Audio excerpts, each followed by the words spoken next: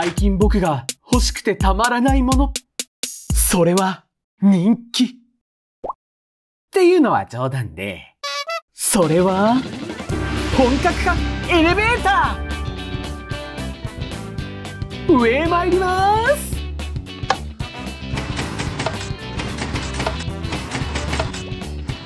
到着。下へ参ります。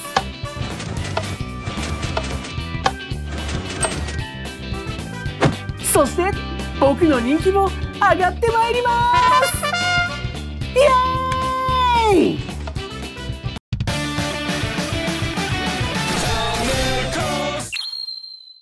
マイクラマスターペケロンのマイクラちょいテク講座。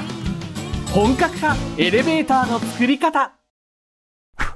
まず吸着ピストンを4つ置き。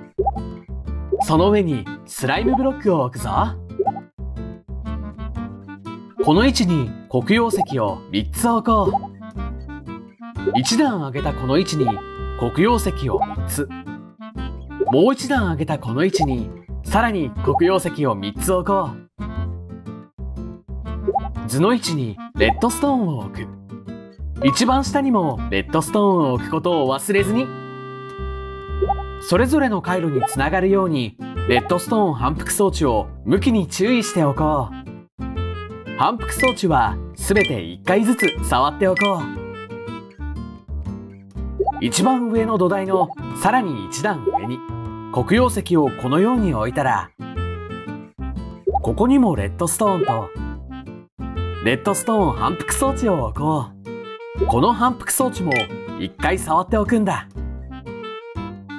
ここに 3×3 の大きさで土台を作ろう。この位置にブロックを置いてそれぞれにレッドストーンの松明を貼り付けよう。この位置にレッドストーンを置くと装置が作動するぞ。上のレッドストーンの松明と下のブロックもレッドストーンでつないでおこう。スライムブロックの上に床を作ろう。今回は 4×4 の大きさで作るぞ。回路をつなげるための足場を作ってレッドストーン回路を敷こう。その先にレッドストーン反復装置を置く。反復装置の後ろにはブロックを置きそのブロックにボタンを取り付けておこう。ボタンを押すと装置が作動してエレベーターが降りるぞ。下の階も作っていこう。まずは降りたエレベーターと同じ高さに黒曜石を置こう。黒曜石につながるように下の階の足場を作ろう。こちらも今回は 4×4 の大きさで作ってみるよ。この位置にブロックを2つ置こう。ここから土台ブロックを伸ばそう。今回は見やすいように違う色のブロックを使っているよ。最終的にここのブロックにつながるように置いていこう。その上にレッドストーンを置きブロックにつながる部分にはレッドストーン反復装置を。ブロックにはボタンを取り付けよう。このボタンを押すとエレベーターが上がるぞ。このままだと下の階に閉じ込められてしまうのでもう一つのブロックにエレベーターを下げる回路をつなげよう。このブロックの下の土台からブロックをこのように伸ばしこの位置にレッドストーンを置く。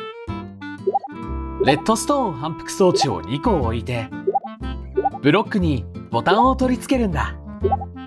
このボタンを押すとエレベーターが降りるぞ。これで本格的なエレベーターの完成だ。